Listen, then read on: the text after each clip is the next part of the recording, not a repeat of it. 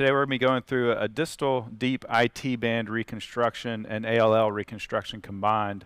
For this deep IT band slash ALL reconstruction, we're going to use three double-loaded knotless FiberTaks that are knee FiberTaks specifically. They're shorter for ease of insertion. We can tap them in and drill them in as well. The tap we're going to use proximally just around our ACL so we don't have to worry about our tunnel. Distally, we're going to drill because the tibia can have some hard bone for insertion. We're going to use two 0.9 millimeter suture tape fiber loops distally for our graft passage and also for pulling and tensioning our graft. Then also a new fiber snare that comes on a stick that helps with insertion and with passing. So now we're with our specimen to show you this technique today, and this technique is additional to our ACL reconstruction.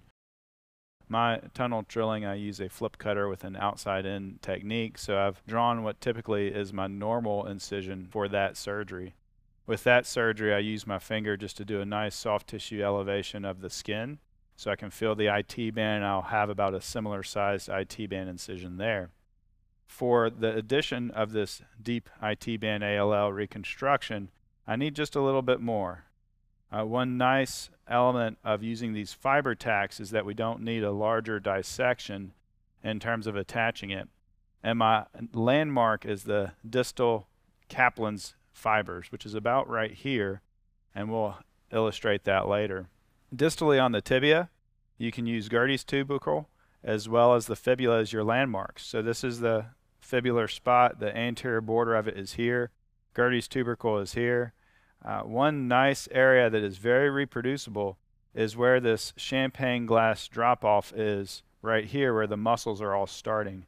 So I can put my thumb very reproducibly on that spot and I typically need about a three centimeter incision right in the middle of that spot.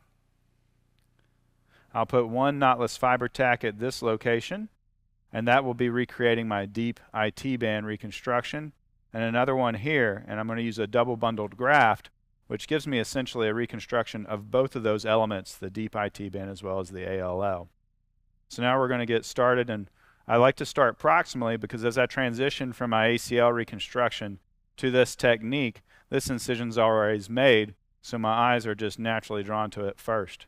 But you could start just as much distally. There's no necessary steps that are important. For these steps, I typically prepare proximally, place a knotless FiberTak, attach my graft here, then go distally, place my two knotless FiberTaks, then pass my graft, and then secure distally.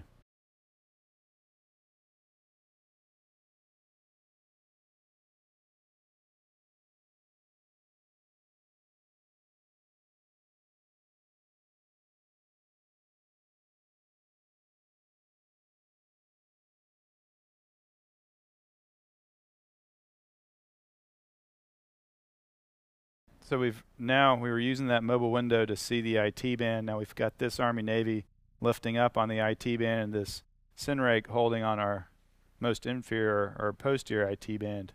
And you can see the actual distal Kaplan's fibers right where my finger is. So I usually find it with my finger or that location first. And then you can see it in this specimen as well. Since we're reconstructing and we're going to do an onlay, we want to make a bleeding bed of bone. So you can use a rasp or you can use a curette to just mark up that spot and get some nice synovial slash periosteal abrasion because we want a nice bleeding bed of bone. In addition to using a rasp, you could use a rongeur. We've got a rongeur here. And now you can't see it as nicely because I've started to disrupt it. Make a nice bleeding bed. Once you've got your bleeding bed of bone, then we're going to come in with our drill guide.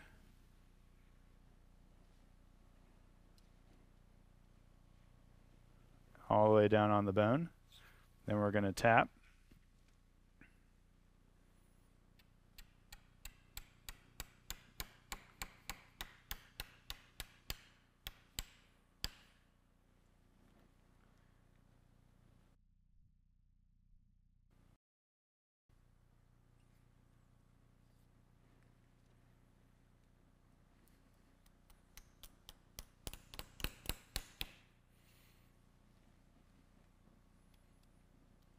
And now we'll go ahead and get our graft and load our graft into this position. So we've removed the inserter and you'll see that we've got two loops and with those two loops is what we're going to pass our graft from and there's a stay suture to help protect you so that you don't pull prematurely. Now we've got just a, a hemostat and we're going to pass our graft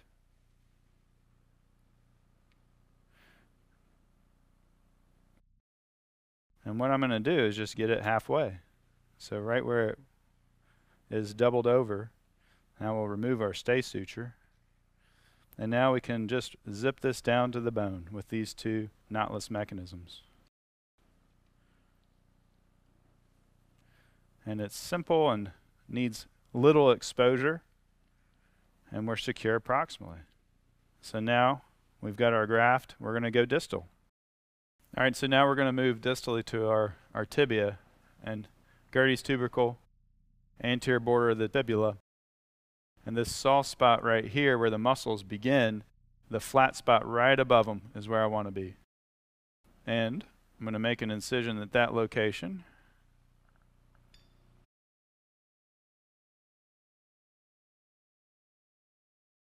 We've got a really nice footprint to use. You can see Gerdy's is right here that we've just pulled to. Anterior border of the fibula is behind us, and you can see the IT band right at this location. Hold that one right there. So I'm going to put a knotless FiberTak essentially right behind Gerdy's. So here's Gerdy's.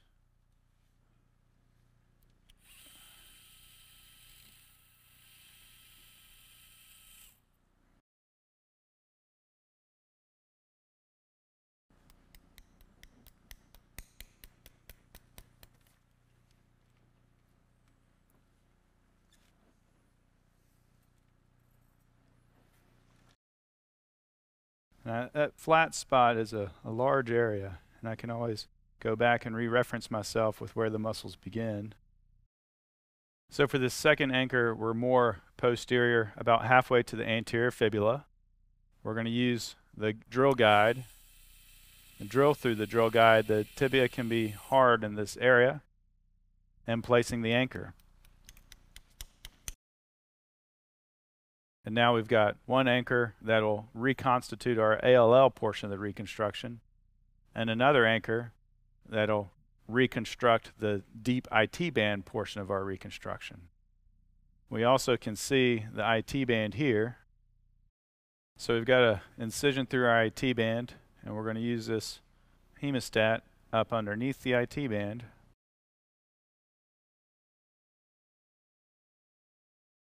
And come out right adjacent to where we were before.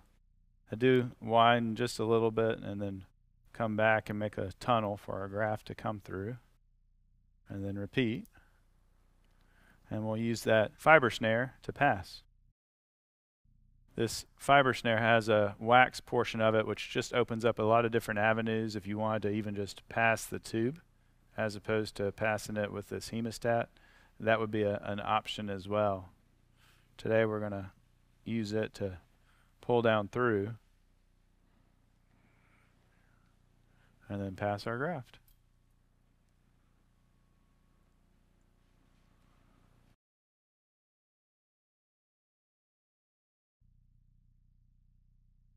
So we've got the loop to pull our suture tapes down and our graft should follow nicely. There we go. So now we've got our graft into position and we're going to simply secure it to the tibia, one limb for our ALL and one limb for our deep IT band. We've got our stay suture again to help keep our loops. So I'm going to get some provisional tension in this graft and we want to put the knee at about 15 degrees of flexion for that. We can do a secondary tension once we get our other one and then go back and forth. So now we repeat the same steps.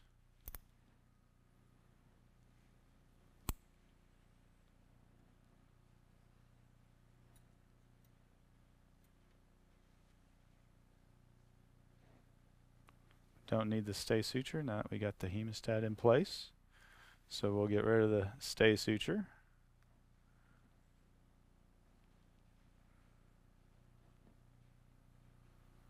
I can guide it with my hemostat. So now we've got both limbs. Put it at about 15 degrees based upon a biomechanical study. And now go ahead and pull each limb down. You'll see the, the tape pulls nicely down and is flat.